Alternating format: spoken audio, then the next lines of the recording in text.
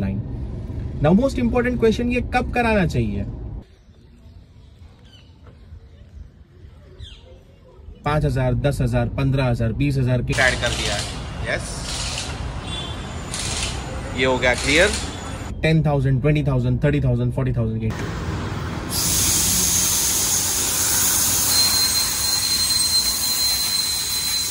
तो instrument cluster के ऊपर टीपीएमएस का लाइन ब्लिंक करने लगेगा।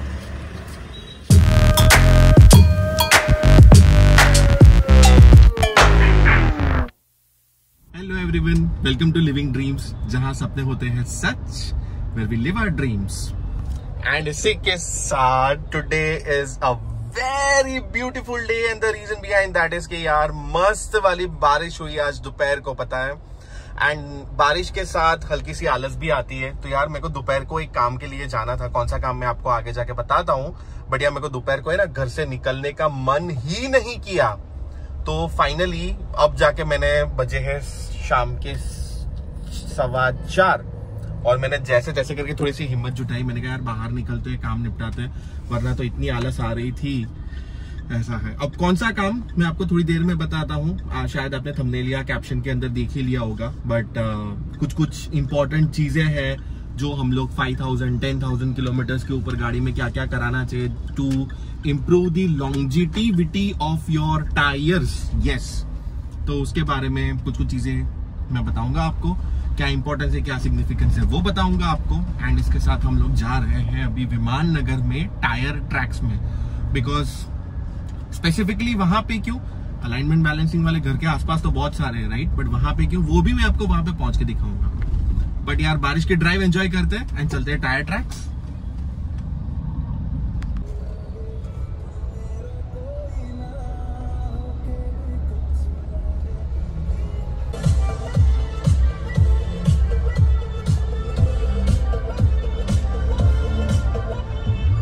बोल दो, थार लेने का ये एक फ़ायदा तो है। You don't have to worry about the water logging in the city specially in the monsoon पता है?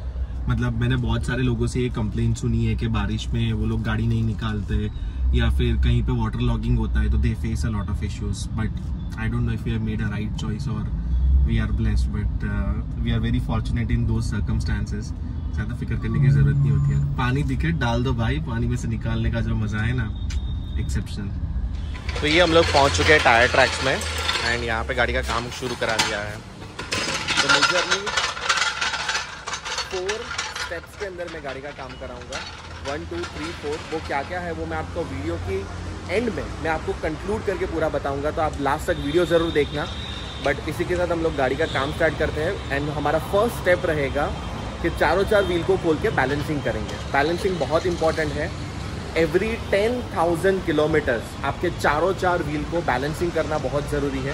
एक और चीज़ करना ज़रूरी है, वो मैं बात को बताता हूँ। बस तो पहले चारों चार टायर खुलवाते हैं, उसका बैलेंसिंग कराते वेट ऐड करते हैं। एंड जैसे मैंने आपको पहले बताया कि मैं टायर ट्रैक्स में आता हूँ, क्यों? That is because of this alignment machine that they have there is a speciality about this machine वो क्या है?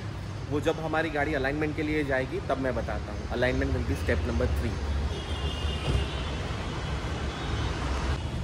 यार मैं है ना बड़ा फिनिकी इंसान हूँ। तो मैं कभी भी ऐसा करता हूँ ना तो आई इंश्योर कि मैं चौक से टायर पे लिख दूँ। तो ये वाला टायर जाएगा फ्रंट राइट में। ये वाला टायर जाएगा फ्रंट लेफ़्ट में। और ये वाला रियर लेफ़्ट में। अभी ये टायर खुल के जा रहा है बैलेंसिंग के लिए। ये आपका चौक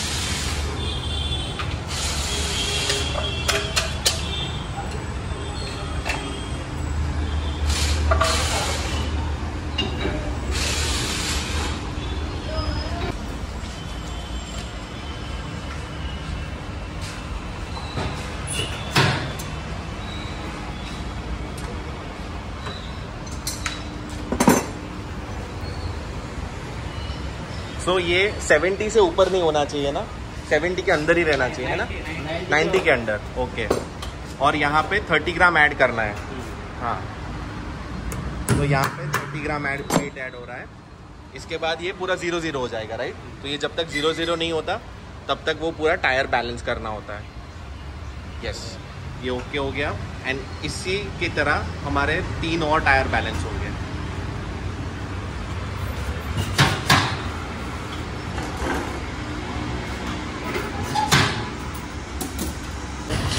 सेकेंड टायर में। पंद्रह ग्राम ग्राम लग रहा है। और अब ये हो जाएगा ज़ीरो ज़ीरो, क्योंकि पंद्रह ग्राम वेट ऐड कर दिया है। यस ये हो गया क्लियर बाकी के दो टायर बचे। तो यहाँ पे हमारे चारों चार व्हील्स का सॉरी नॉट अलाइनमेंट बैलेंसिंग हो चुका है। एक टायर में 15 ग्राम गया, दूसरे में 20 गया, तीसरे में 30 गया। और एक में 60 गया। तो एक ही टायर के अंदर ज़्यादा वेट गया। अब सेकेंड स्टेप क्या होगा? तो जब भी आप टायर रोटेट करते हो ना, पर इसके अंदर जो टी पी एम एस है राइट तो टी पी एम एस को कौन सा, कैसे पता चलेगा कि हमने कौन सा टायर कहाँ पे लगाया? तो वो रेक्टिफाई करने के लिए हमें एक बार इसका T P M S reset करना होता है। मैं दिखाता हूँ वो कैसे करते हैं। अभी T P M S calibrate करने के लिए ये अप वाला ये दबा के रखना है। And then you switch on the ignition engine चालू नहीं करना है, सिर्फ़ इग्निशन ऑन करना है। और जैसे गाड़ी ने ये वाला नॉइज़ दिया, उसका मतलब कि अब उसका कैलिब्रेशन शुरू हो चुका है। मैं आपको स्क्रीन पे दिखाता हूँ कैसे वो। तो अभी ये फ्रंट लेफ़्ट टायर का रीडिंग ले रहा है। उसमें से थोड़ी सी हवा निकालेंगे तो उसको पता चल जाएगा कि ये वाला टायर फ्रंट लेफ़्ट का है। तो यहाँ पे इसने फ्रंट लेफ़्ट टायर की लर्निंग लेना शुरू कर दिया है। भैया यहाँ से हवा निकाल रहे हैं और जैसे ही एक बीप बजेगा मतलब इसको पता चल गया है कि ये फ्रंट लेफ़्ट टायर है।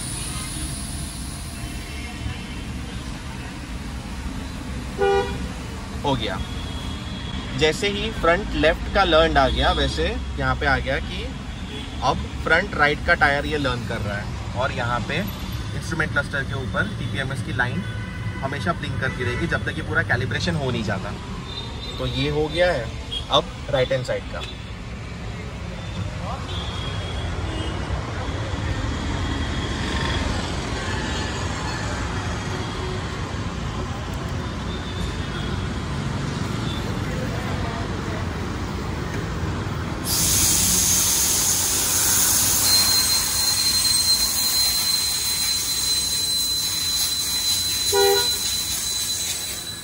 ये जो हॉर्न बजा ना हॉर्न बजा मतलब उसने लर्न कर लिया कि ये फ्रंट राइट टायर का पता चल गया। अब रियर राइट का, इसी तरह से पाँचों पाँच टायर करेंगे। और उसके बाद ये होता है पूरा टायर कैलिब्रेशन का प्रोसेस जिससे कि गाड़ी को पता चलता है कि कौन सा टायर कहाँ पे लगा है। जब भी आप रोटेशन कराओ, तब ये करना बहुत इंपॉर्टेंट है इंश्योर दैट यू डू हो गया? एंड द बेस्ट पार्ट है इसके थार के अंदर पाँच मार्ट पांचवा टायर भी अलॉय व्हील होता है और इसके अंदर भी टी होता है तो ये भी लर्न करना पड़ता है।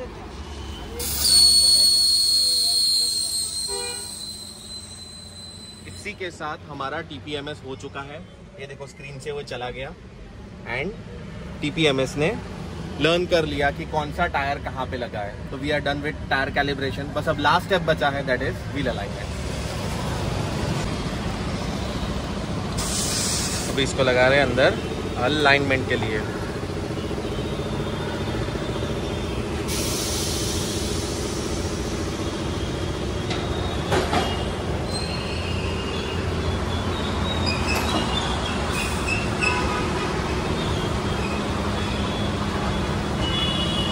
तो जैसे मैं आपको बता रहा था, यहाँ पे आने का स्पेशल रीज़न क्या है? That is because we have an expensive machine expensive machine as an how तो अगर आप यहाँ पे देख रहे हो ना तो ये जो अलाइनमेंट का जो मशीन है ना, इसका जो टायर के अंदर सेंसर लगता है, वो हमारा लग रहा है टायर के ऊपर। जबकि अगर आप नॉर्मली कहीं पे अलाइनमेंट बैलेंसिंग कराते हो ना तो वो यूँ करके हुक से अलॉय के ऊपर बैठता है। यार, एक तो मैं हूँ फिनिकी इंसान। सबसे first in the form of thing जो होती है, वो होती है कि अलॉय व्हील के ऊपर स्क्रैच लगता है। दूसरा कि I don't know somehow I feel that and I know that these are expensive machines and इनके अंदर एक्यूरेसी ज़्यादा आती है एंड अपार्ट फ्रॉम दैट ये अलॉय व्हील्स को डैमेज नहीं करते तो दैट इज़ द रीज़न कि I always choose a place जहाँ पे इन लोगों के पास ऐसे मशीन हो जो सीधे टायर के ऊपर लगे, ना कि अलॉय व्हील्स के ऊपर। सेकेंडरी अगर आप एमआरएफ की कोई भी ऑथोराइज डीलरशिप के ऊपर जाते हो तो वहाँ पे they always have these expensive machine तो that is the whole and sole reason कि मैं यहाँ पे क्यों करा रहा हूँ। अब कौन कौन सी चीज़ें करी वो मैं समराइज़ करके लास्ट में इंक्लूड करता हूँ। इसका सिग्निफिकेंस क्या है और कितने किलोमीटर्स पे कराना होता है वो मैं लास्ट में बताता हूँ। सबसे पहले हमारा लास्ट स्टेज अलाइनमेंट निपटाते हैं।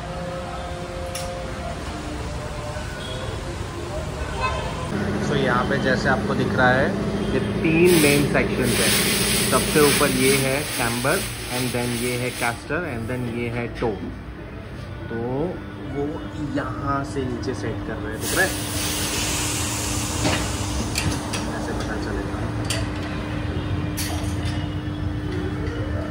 तो एक साइड से ढीला करते हैं एंड देन दूसरी साइड से इसको टाइट कर देते हैं।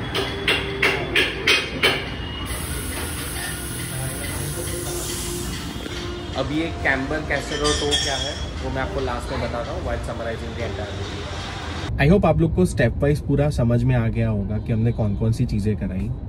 Just for a better understanding मैं इन चीज़ों को चार सेक्शंस के अंदर डिफ्रेंशिएट करके आपके बताता हूँ। तो सबसे पहले हमने चारों चार व्हील का बैलेंसिंग कराया। चारों चार व्हील का बैलेंसिंग होने के बाद हमने टायर रोटेशन किया एक्स में। उसके बाद हमने टीपीएमएस का कैलिब्रेशन किया टायर प्रेशर मॉनिटरिंग सिस्टम का, ताकि टीपीएमएस को पता चले कि कौन सा टायर कहाँ पे लगा है। एंड उसके बाद फोर्थ हम लोगों ने जो किया दैट वाज हमने आगे के व्हील्स का अलाइनमेंट करवाया। नाउ अलाइनमेंट के अंदर there are three important things एक होता है caster which is this like this ये कैस्टर वाला मूवमेंट होता है। दूसरा होता है camber camber is this and then third is toe this is toe तो ये इस तरह से आपकी गाड़ी के टायर घिसते हैं राइट सो इनका सेटिंग करना बहुत ज़रूरी होता है। अगर जैसे अगर आपके टायर का अलाइनमेंट ऐसा है तो आपका ये वाले टायर का अंदर का साइड ज़्यादा घिसेगा। अगर वो वैसा है तो उसके बाहर का साइड ज़्यादा घिसेगा। Similarly this is how your wheel should be align now most important question ये कब कराना चाहिए?